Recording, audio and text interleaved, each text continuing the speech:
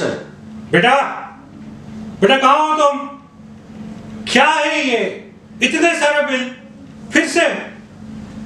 बेटा बेटा तुम अगर ऐसे ही शॉपिंग करती रहोगी, मैं तुम्हारी शादी कैसे कराऊँगा? तुम्हारी उम्र की सारी लड़कियों, अपनी फ्रेंड्स को देखो, सबकी शादियाँ हो चुकी हैं। किनके तो बच्चे भी हैं। और एक तुम हो कि तुम्हें शॉपिंग से फुर्सत ही नहीं मिलती।